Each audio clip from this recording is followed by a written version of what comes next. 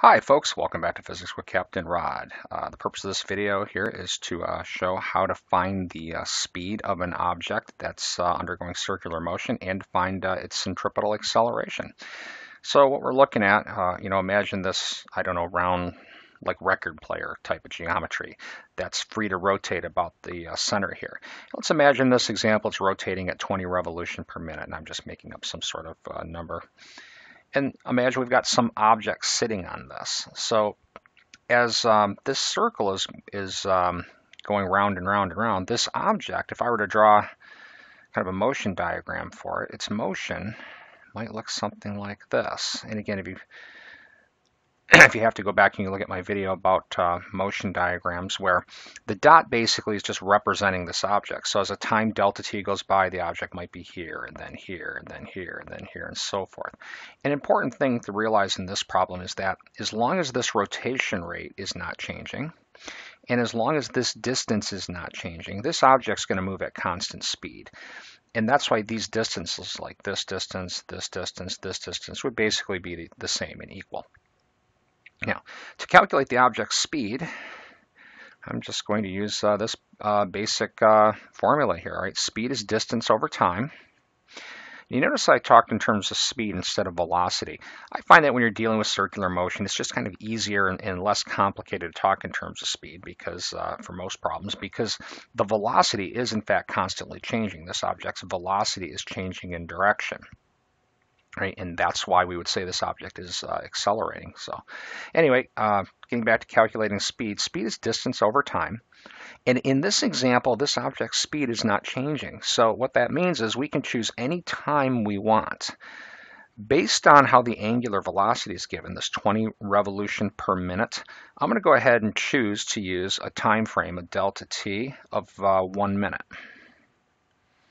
which is 60 seconds. And the reason for that is I will know then that this object went around 20 times. So when I calculate the speed, all right, distance over time, this object went around 20 times, and each time it goes around, it travels one circumference of a circle, 2 pi r. So 2 pi times, I'm going to go ahead and write this in uh, standard metric units. 50 centimeters is 0.5 meters, so 2 pi r would be 2 pi times 0.5 meters and then the delta t, 60 seconds. I got to get back up to the top here. The 2 pi r represents the distance traveled once around, but if I use a 60 second time frame, this object will have went around 20 times. So I'm going to go ahead and multiply that by 20. And now all I got to do is uh, calculate a value here. So give me a moment.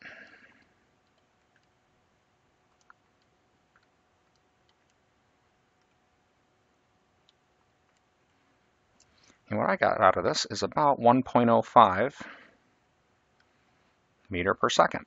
Top works out in meters, bottom seconds, 1.05 meter per second. I'm going to run that one more time to be sure. Yep, okay, looks good. All right, so this object would be moving around in a circle. It'd be moving at a speed of uh, approximately 1.05 meter per second. Next, we're going to calculate its centripetal acceleration. So again, because the velocity vector is changing in direction, we've got an acceleration. That acceleration, I'm going to draw that vector in red. Centripetal accelerations always point towards the center of curvature. And they have a magnitude equal to v squared over r. So in this example, the centripetal acceleration is going to have a magnitude of 1.5 meter per second squared over 0.5 meters.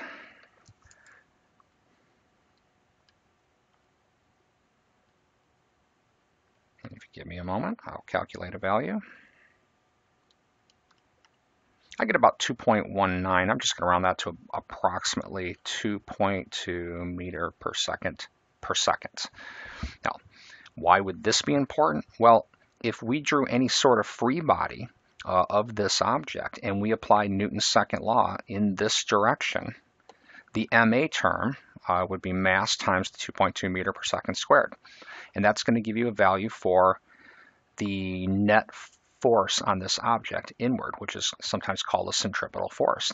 Now that centripetal force on this object could be coming from several different things. One, perhaps this object is just sitting on the surface.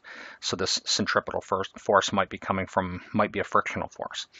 maybe it's bolted down or glued down or something like that, or maybe there's some sort of ridge here trying to keep it uh, from uh, sliding off the surface. Uh, there's not enough detail in this particular problem to know that, but I just wanted to chat a little bit about why would we want to know this, the centripetal acceleration, because it will be important for any sort of free body or Newton's second law analysis of that particle. So uh, the point of this video was how to calculate the speed of an object, basically that's going in a circle, and how to find its centripetal acceleration.